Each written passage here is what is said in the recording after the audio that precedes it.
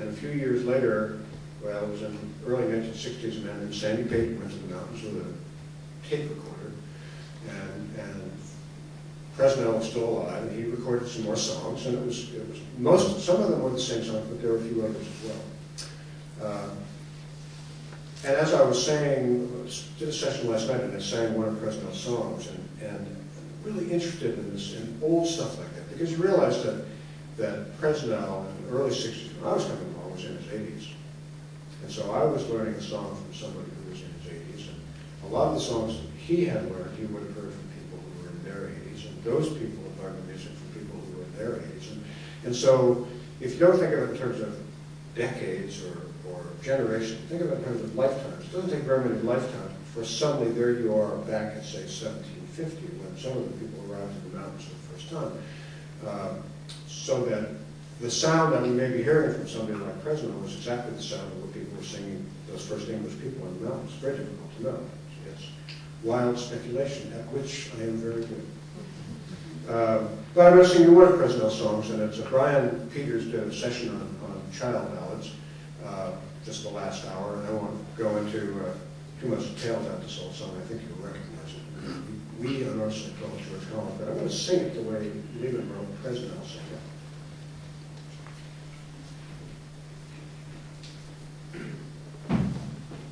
And I, I wish I wish I had a picture of here behind me so you could think about him singing it.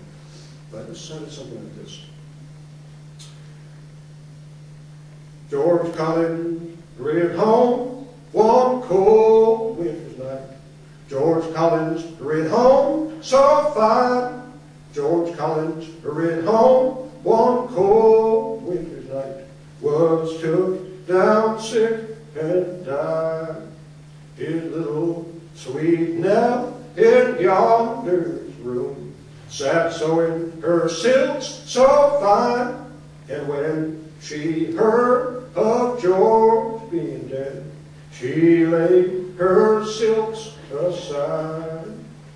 Daughter, oh daughter, why do you weep? There's more young men than George. Oh mother, oh mother, George got heart.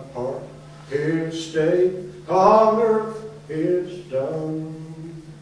Sit down to the coffin, take off the lid, lay back the linen so fine, and let me kiss his cold pale lips, for I know he'll never kiss mine. George Collins rid home one cold. George Collins rid home so fine. George Collins rid home one cold night. Was took down sick and died. I usually find it awful. I just found it. That when I'm singing songs like that from one of the old singers, it's very, I've got the, the, that version of the old singer singing it is so strongly in my head, it's hard for me to get away from it. And when I'm trying to do it that way, specifically that way, I find that it usually, uh, uh, by the end of it, I'm starting to get the hang of it. So I'm going to sing it again. No.